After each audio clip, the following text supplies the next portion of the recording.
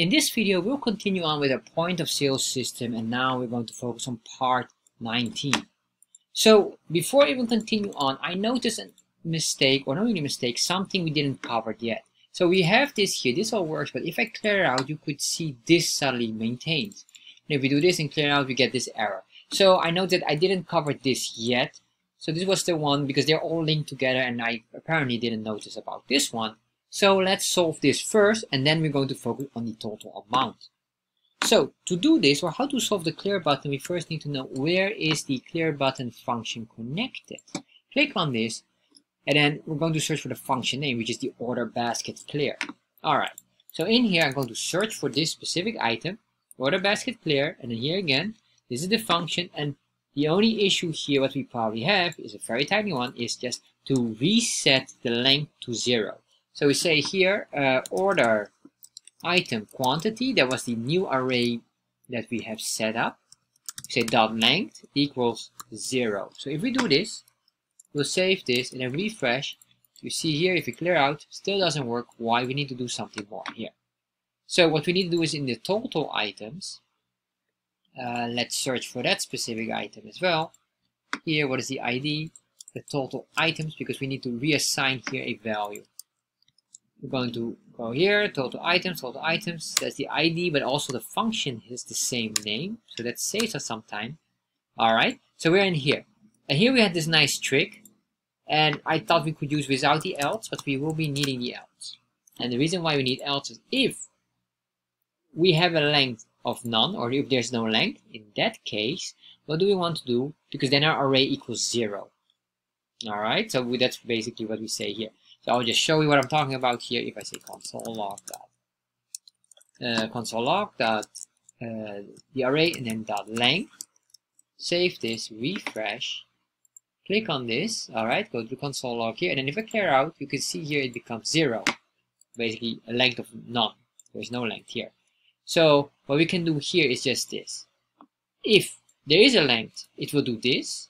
If there's no length, it was doing nothing. That's the reason why it was keeping this here. It doesn't do anything. So all we have to do here is we then have to reassign this one and just say now that this will be equal by default always to zero. Save that. Refresh. Click, click, click. Clear. There you are. You can test it also with strings. Are we having everything connected well? Here, and then we clear. There we are. So this works very nice. We have this here. I don't know yet what this is, but this might need to be solved as well eventually. But that's alright for now. So what we're going to do now is focus on the total item. We just get that one at a time, and then we'll see if something is missing. Because later on, I have still one item that will be a big one that we have to do. Anyway, what I want to do now is the total amount. And this is very important. Remember, when we select these, these are correlated with each other. Yes, you can see here, 0 is uh, 14, and I don't know exactly what is 14 right now. Oh, the 14 is the ID, sorry. That's the ID. And then this is the index number basically here. But if we select here, do we see anything here? We do see it here, but I guess we don't see it anymore there. So click on that. All right, you will see here probably something. What we really need is this, because that's my whole point here. We have the array item, basically the ID. We have the value of the item, and then we have also the quantity of the item. And this is very important because the quantity of the item will be matched with the price. We need to do this, multiply by this, and then plus this one, multiply by that, plus this, multiply by that, plus this, multiply by that. Alright? So that will that's what we need to do. And you might say, well, if we click twice on this, why is this still not calculating? Well, that's why we need the complicated item. That is the IDs that we're going to work on. But everything is so connected right now I don't want to cover it yet. So what I want to do here, at least is that we calculate these and multiply them correctly. To do this, what we need to do is we need to figure out where exactly we have to do this. And well, you guessed it already. We can look here quickly in the ID here. Here we have the ID. Uh, let's search for this ID here. Is there an ID? There you are. The ID of span, which is the total cost. Probably the function is also called total cost, but let's check. We have here the total cost, all right. I guess this is the entire function. It's not called total cost, but it's called total the cost of items. All right. So what we're going to do in here, here we already have like a, uh, what we call this, the reduce item. So we see here the value reduce. It reduces the item or basically the reduce, array reduce is the sum. That's the previous video I explained as well. We sum them all together. Now what we need to do is we need to multiply them one by one and remember, uh, sorry, and remember they were correlated. This one was this with the IDs. So then we can get the price with the quantity of that specific item and then multiply them together. This is very, very important. So what we're going to do here is basically the following. We're going to create here a, uh, let's create here something simple, a simple temporary array. And the reason I'm going to create a temporary array is just for the multiplying here to calculate these multipliers together. So we say a constant, and we call this the total temp array. This will be only used in here.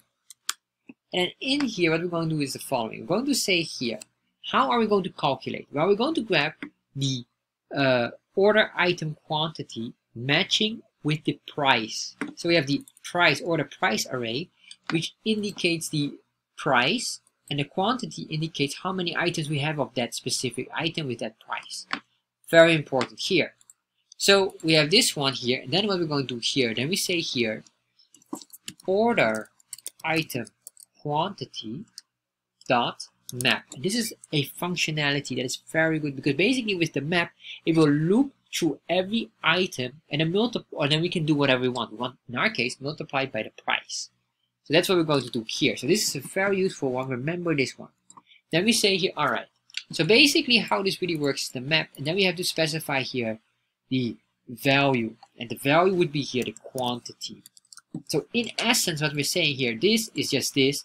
Every item, every value in here, let's say number two right now, one and one. That's the array. So if you would draw it in an array, you will see this two comma one comma one. So we say this quantity array, quantity, or sorry, order item quantity dot map. Then we say quantity, and the quantity refers to this item here. Then we'll loop through the first one, and then the next one, and then the next one. So basically index.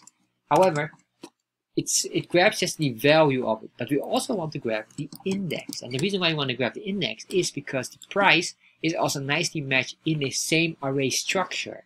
These two are correlated with each other because the price would be, the first price of the index would be then 699, other one would be 599, etc, etc. So this, the other one is 599, and then the other one is 499. So these are so directly correlated. So this is basically index 0, index 1, index 2. That's why you have the index here, and this is just matching as well. So then we say here arrow expression function, and then we make here a, uh, basically this is a function, and then we say the following.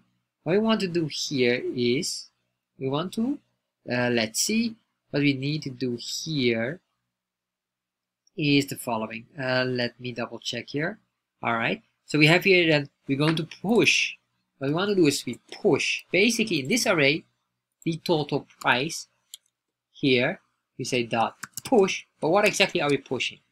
We're pushing the quantity. And just to make sure you understand what I'm saying here is I want just to console log this. Let's show you first this. So that makes more sense. Then you will understand what I'm talking about and why it's so powerful. Let me say your index. If I save this right now, and this is the sum array cost items all right I don't know how it will be triggered let's click on this or maybe if I click on something here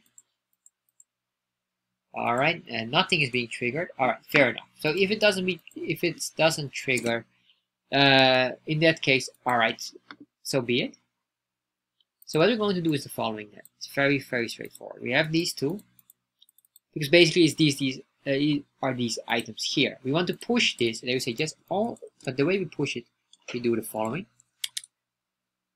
We grab this here, the quantity, multiply by, because this is the value, remember that, and, and then multiply by the order price array, but then here index. Alright, so then you have the index, we'll match it all together. So then we have this, this will be pushed every time in here. And then what we want to do, we want to do this specific item here, we reduce it. Since we already have this part already done nicely, what I want to do here then is just to, we're going to remove this because you already get this now. I'm going to cut this out and replace it up. So we get the array first here, and then here, this is not anybody order price array. No, it's a temporary, the total temporary price or whatever you want to call that. The total price here will be reduced here and we put it in here. So once we did this, this functionality here can be probably removed because we have the sum array here. Oh, oh no, sorry, this can be still maintained. We still maintain this. The only thing we say, different array now. We grab this array. If we save this now, refresh, we should have now the expected item. Alright, it doesn't work yet. Why? Well, let's see. I guess probably I know why. You can see it, it works here once it moves away. So probably if you remember my previous video, it was saying here the cost item needs to be triggered. So I'm going to copy this. So what we need to do is we need to trigger this not here only if it's equals to zero, but we also need to trigger here up when the cost item is here. Alright, so if I save this now, refresh, click, click, click, plus, there you are. Pay attention here, plus, plus, plus. If I click more, there you are. Remove one, remove one, remove this price, remove $7 should be removed. There we are. And then here, goes down, goes down, goes down. There we are. So we go there, increase, decrease. So this works nice. Let's see if I clear out. This works as well. So now we have everything here and let's make sure if we do this, if I check out, we get the same price that is equal to this here. Insert paid amount. If I say exact amount, alright, we see everything is now nicely matched. So this is basically how we do it and now probably it's time for the most complicated one is to start to get this. What I really want to do, and that will be next video, is when we click on twice on pizza 1, it should be here in here. Instead of being separated, it should be together. Recognize it as a plus instead of a new item. That will be the next video.